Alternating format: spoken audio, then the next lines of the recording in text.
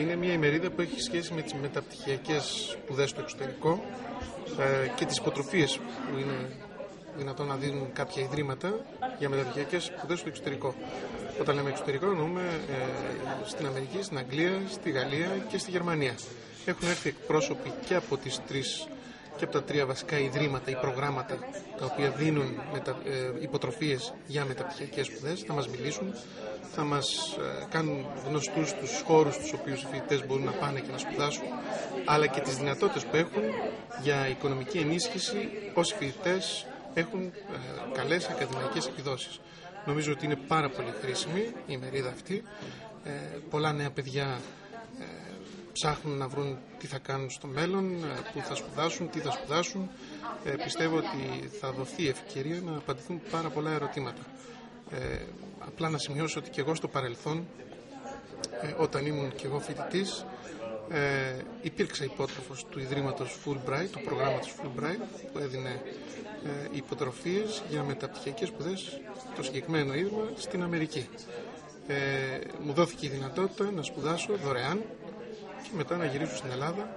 Επομένως, όταν υπάρχουν οι πληροφορίες, μπορεί κάποιος να τις εκμεταλλευτεί και να μπορέσει να πραγματοποιήσει τα όνειρά του. Υπάρχει ενδιαφέρον από τους φοιτητές, ειδικά τώρα με την οικονομική κρίση. Βεβαίως, η οικονομική κρίση σε αναγκάζει να σκεφτείς πολλούς εναλλακτικούς τρόπους. Τρόπους χρηματοδότησης των σπουδών σου, τρόπους και διεξόδους για το τι θα κάνεις στη ζωή σου. Άρα είναι ένας επιπλέον παράγοντας σήμερα, περισσότερο από ό,τι άλλοτε, να σκεφτούν οι νέοι το μέλλον τους. Οι ευκαιρίες δυστυχώς στην Ελλάδα είναι πιο λίγες σχετικά με το παρελθόν. Όταν όμως μάθει κανείς τι άλλες δυνατότητες, τι άλλες ευκαιρίες υπάρχουν για έναν ορισμένο χρονικό, για ένα ορισμένο χρονικό διάστημα για να πραγματοποιήσει μεταπτυχιακές σπουδές, τότε έχει πράγματι περισσότερες επιλογές.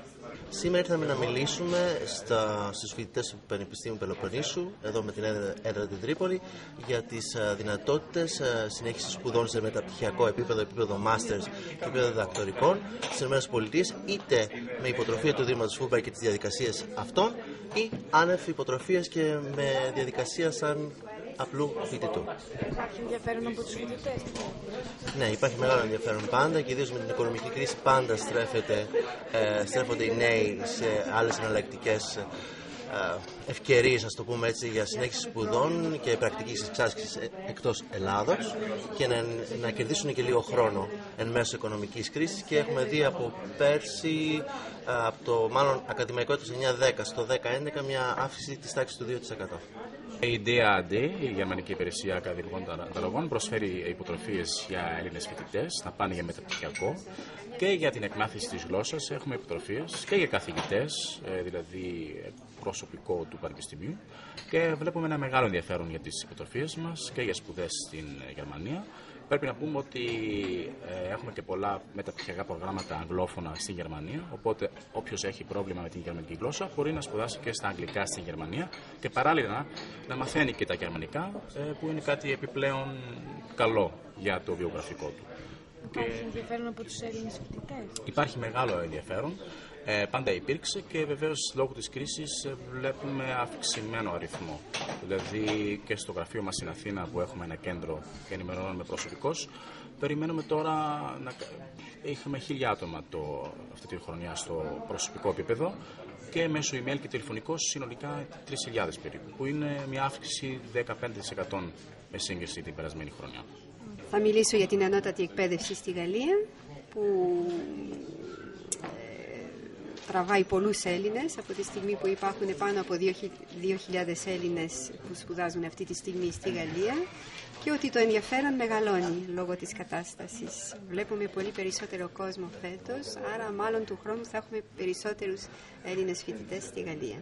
Αγαπητοί φίλοι, αγαπητοί συνάδελφοι, φοιτητές, ε, θέλω να σας ε, καλωσορίσω σε αυτή την ημερίδα. Είναι μια ημερίδα αφιερωμένη στις μεταπτυχιακές σπουδές στο εξωτερικό.